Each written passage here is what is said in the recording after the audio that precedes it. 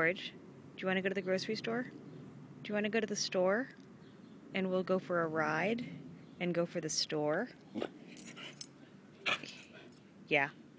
You want to go to the grocery store? That's a yes. Grocery store? And we'll get strawberries. George? Maybe we'll get chicken. Chicken.